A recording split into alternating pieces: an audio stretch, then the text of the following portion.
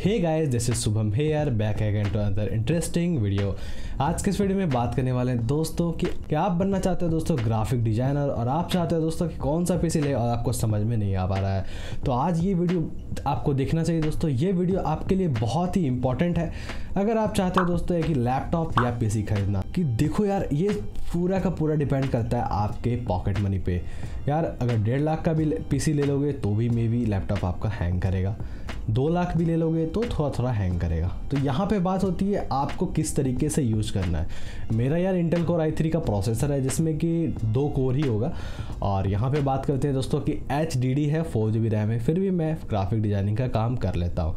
लेकिन जो मैं बताना चाहता हूँ कि अगर आपको ग्राफिक डिज़ाइनर एक्चुअल में बनना है तो आपको बेसिकली क्या क्या चीज़ चाहिए? और एक ऐसा तो नहीं है कि ना कि आप यूज़ कर रहे हो, बहुत ज़्यादा हैंग कर रहा है तो आप लैपटॉप यूज़ कर पाओगे।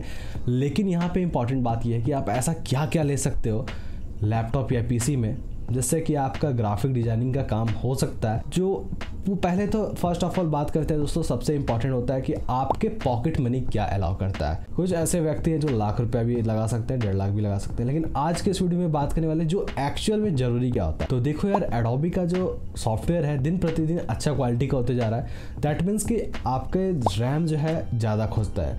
तो यहाँ पे आज बात करते हैं दोस्तों, अगर आप i3 का प्रोसेसर लेते हो या i5 का प्रोसेसर लेते हो, या तो आप i7 का प्रोसेसर लेते हो।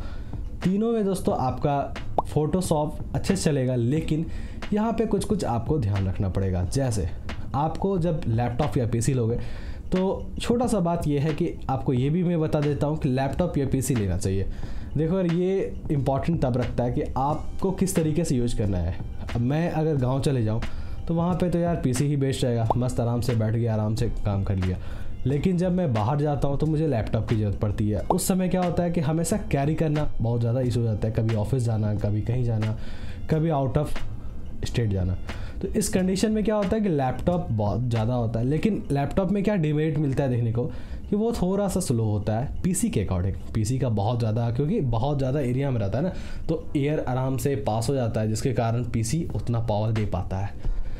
लेकिन लैपटॉप में ऐसा नहीं मिलता है लैपटॉप में थोड़ा सा स्पीड कम देखने को मिलता है। तो आपको उस कंडीशन में क्या करना पड़ेगा? लैपटॉप थोड़ा और ज़्यादा पावरफुल लेना पड़ेगा। लेकिन यहाँ पर मैं बात कर रहा हूँ था कि आपको एक ग्राफिक डिज़ाइनर बनने के लिए क्या क्या आपको चीज़ चाहिए। तो देखो यार, यहाँ पे मैं आपको बताता हूँ मिनिमम जो है एसएसडी ज़रूर लेना।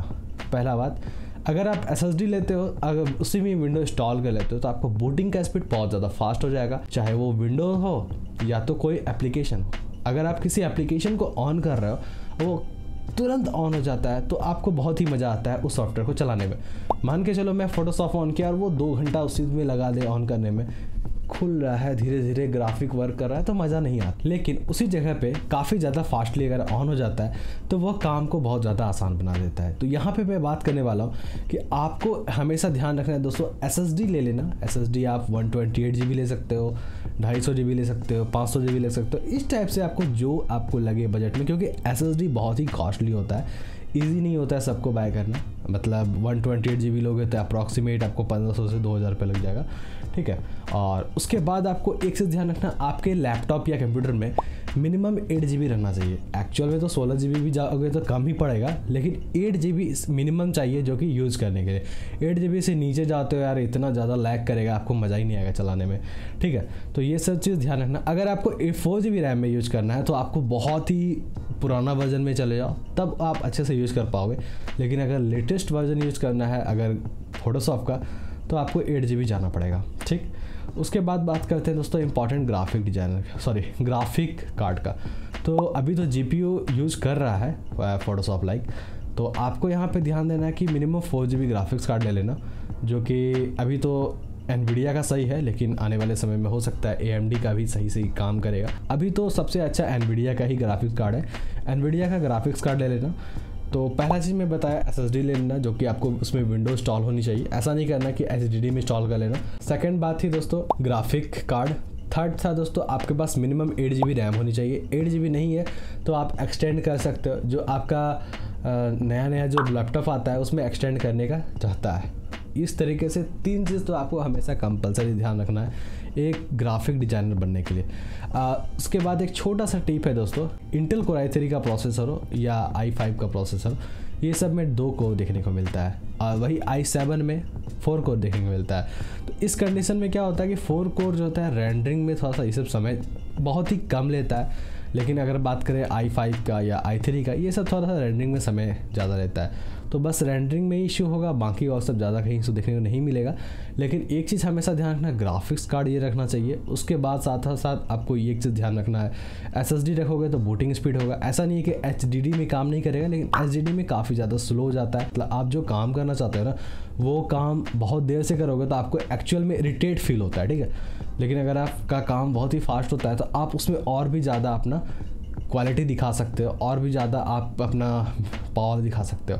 तो ये सब चीज़ दोस्तों बहुत ही वैल्यू रखता है कि अगर आप कोई भी पीसी लेना चाहते हो तो ये सब चीज़ देखना। और अगर बात करूँ जो अभी मैं आपको बता रहा हूँ एच का जो पवेलियन लैपटॉप आता है, जो गेमिंग पीसी है स्टार्टिंग में अप्रॉक्सीमेट सिक्सटी थाउज़ेंड है। इस टाइप का लैपटॉप भी आप ले सकते हो, जो कि आई फाइव में भी आता है राइजन फाइव में भी आता है। इस टाइप के प्रोसेसर अगर आप यूज़ करते हो और four G B graphics card भी है उसमें तो बहुत ही अच्छा है लिटरली दोस्तों। मैं आपको रेफ़र करूँगा कि आप उस टाइप के लैपटॉप को बाय कर सकते हो। और यार, अगर पैसा लगाना बात करें तो बहुत ऊपर तक लगा सकते हो। जितना ऊपर जाओगे, उतना भी कम ही पड़ता है। अगर आप पाँच लाख के भी पीसी में, अगर वीडियो एडिटिंग करते हो तो भी हल्का फुल्का लैग देखने को मिलेगा। अगर आप सत्तर हज़ार, अस्सी हज़ार के लैपटॉप में भी एडिटिंग करते हो तो भी आपको लैग देखने को मिलेगा। तो डिपेंडिंग करता है आप किस लेवल पे करते हो और आपको उस लेवल के अनुसार अपने बजट को भी बढ़ाना पड़ेगा। तो जब अगर आप स्टार्टिंग स्टार्टिंग कर रहे हो तो आपको अप्रॉक्सीमेट सिक्सटी थाउज़ेंड तो लगाना ही चाहिए। तो इसी तरीके से दोस्तों इस वीडियो को समाप्त करते हैं। आई होप कि इस वीडियो को अच्छा लगा होगा। वीडियो अच्छा लगा तो मेरे वीडियो को लाइक करना, चैनल को सब्सक्राइब करना, क्योंकि मैं इस तरह का वीडियो लाता रहता हूँ।